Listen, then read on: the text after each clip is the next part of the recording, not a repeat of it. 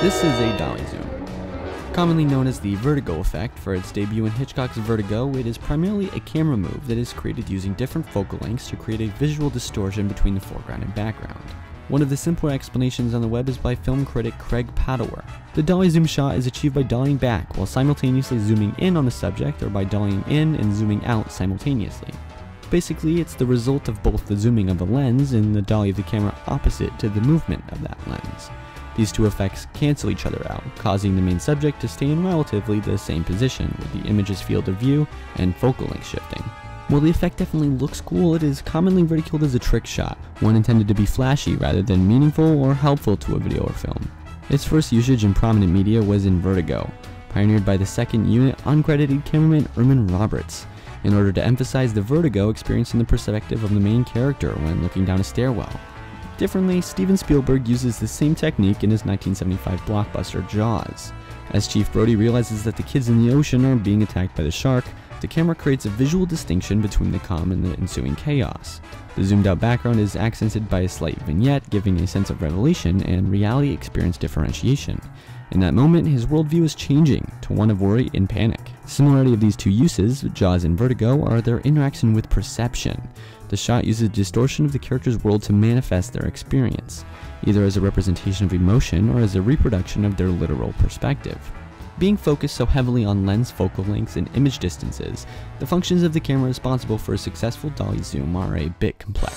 So basically, with cameras, a long focal length, a zoomed in lens separating the image plane from the camera sensor, narrows the field of view and works alongside the longer distance to crush the image's depth, creating a shallow, seemingly zoomed depth of field. This might cause a blur and out of focus appearance, but the larger aperture or iris can help keep the full image in focus. The shifting zoom and focal length, in conjunction with the backwards or forwards movement of the camera, create the stretching or shrinking background behind a relatively stationary subject. To try my own hand at this effect, I went out and found a construction dolly, some PVC pipe, rollerblade wheels, and a tripod. Together they make this thing, a camera dolly, able to make the smooth movements that you see on TV in the movies. Using this, I'll be able to pull off a steady pull back, enabling for more access to the zoom and more precision to match the speed of my dolly to the speed of my zoom.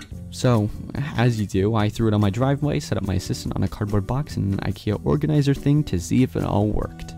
And, um, well, what do you know? As you can see, it wasn't exactly a one and done feat either. I fought with the camera's focus for a bit, but between the autofocus and wider aperture, it mostly worked out in the end. The movement was still a bit shaky, but walking a bit slower and holding less weight on the dolly smoothed it out quite a bit. After a few dozen attempts, I ended up settling on one of them. Obviously, I'm quite fond of the dolly zoom and I liked my own result so much that I became confident in my ability to include it in another project of mine. However, instead of trying to pull it off by eye like before and taking dozens of tries to get right, I wanted to plan it out a bit better. To figure out the math behind the dolly zoom, I asked my physics teacher for a bit of help. After an hour or so of talking and planning it out, we ended up with this equation. 1 over focal length equals 1 over distance from the object plus 1 over magnification times distance from the object. This equation was primarily derived from two basic lens light equations. Magnification equals negative distance from the image over distance from the object, which is also equal to height of the image over height of the object. 1 over focal length is equal to 1 over distance from the image plus 1 over distance from the object.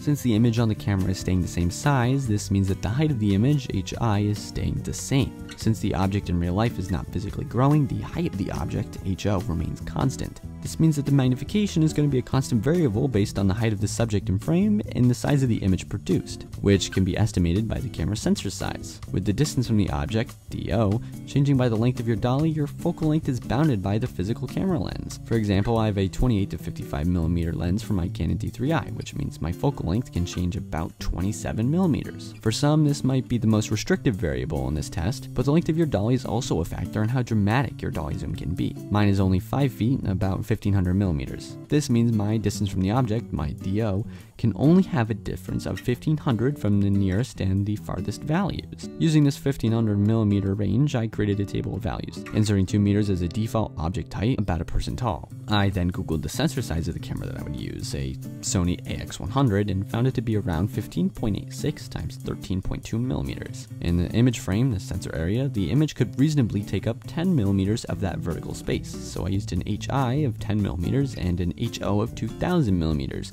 to get a magnification of 0.005.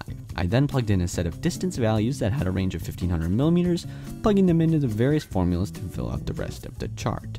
A simple analysis of this chart reads, when the camera is 8 meters from the subject, the camera should be zoomed in at a 40 millimeter focal length. The image created by the 2 meter subject is 40 millimeters away from the lens and 10 millimeters tall. This will create an image with an identically sized subject if the camera is 6.5 meters from the subject zoomed to 32.5 millimeters. With this information, I was able to come up with a designated range of focal lengths so that I knew where the zoom had to start and end to have a matching image height. For example, in the earlier table, I was able to find that for each foot I moved the dolly, I also had to zoom the camera 1.5 millimeters. This ratio is key to having a fully planned out dolly zoom, such that it will be smooth and consistent.